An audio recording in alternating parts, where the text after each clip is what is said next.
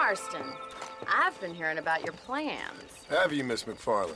Yes, from Leigh Johnson, to settle here and build a life for yourself. I'm afraid those aren't my plans. See, I already have a life. Well, I had one, and I'm trying to reclaim it. Or maybe what you could say is I had two, and I'm trying to end one of them so the other can survive. You do so love to talk in riddles, Mr. Marston. Do you do that, I wonder, as a substitute for having anything interesting to say? Probably, Miss MacFarlane.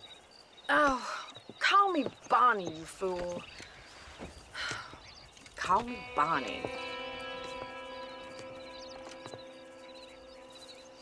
Miss MacFarlane, I'm married. I have a son. I had a daughter, but she died. Years before that, I rode in a gang.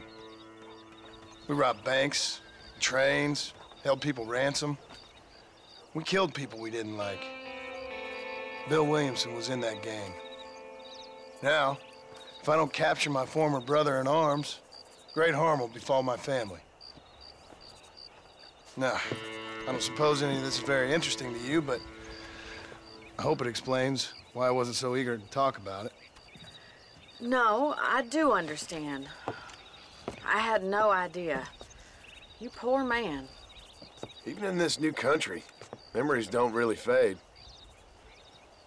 My father was an illiterate Scot born on the boat into New York. He never saw his homeland, but to hear him talk about it, you'd imagine he only ever ate haggis and wore a kilt. And he hated the English for what they had done to his great-grandparents that he'd never met. People don't forget. Nothing gets forgiven. That's true. Especially when it comes to money.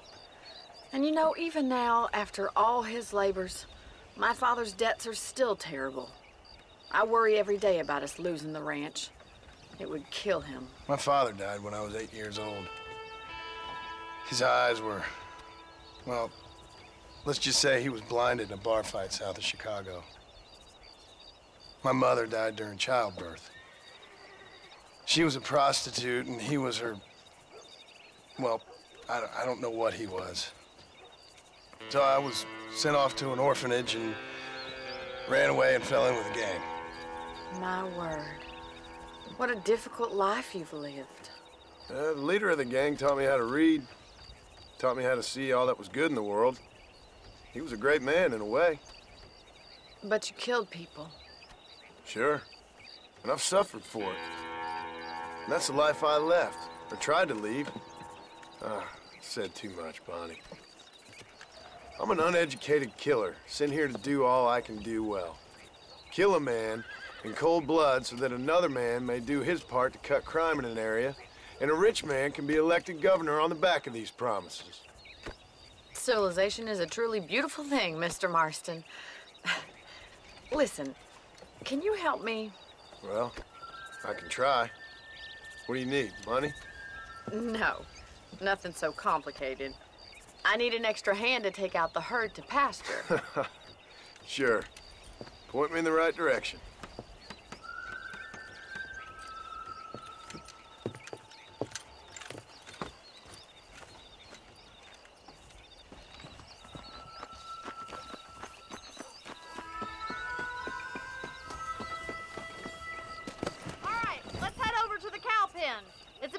A budding farmer such as yourself learned how to herd cattle.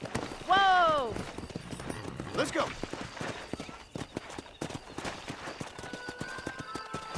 Thank you for telling me all that back there. It must have been hard for you. I hope you understand now why I've been playing my cards somewhat close to my chest. I didn't know you had a wife and child. Then again, I don't think I ever asked. They're they're lucky to have a man like you. I ain't so sure about that, but thank you.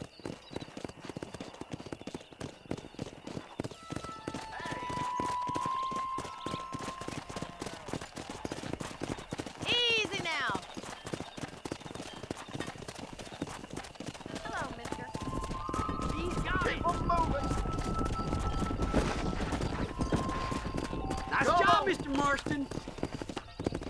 That's it. Stay behind the Drive them down the road, Mr. Marston.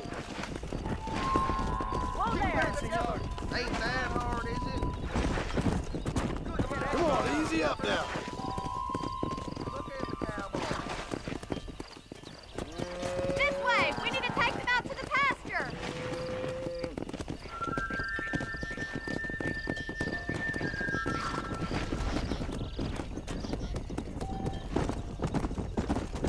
Easy.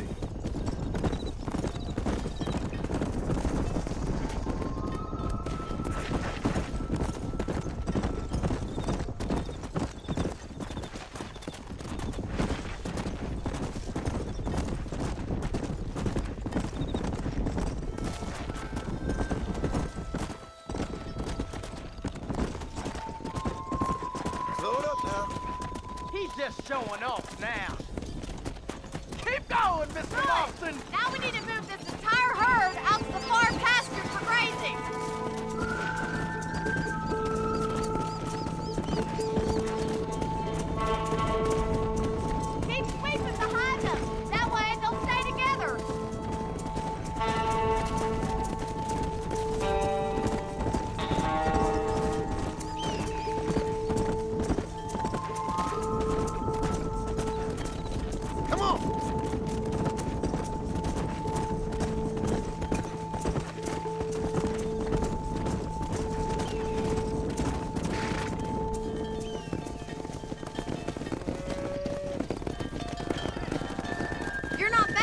bad with the herd. Ranching might be your true calling, Mr. Marston. Either that or you were a cow in a past life.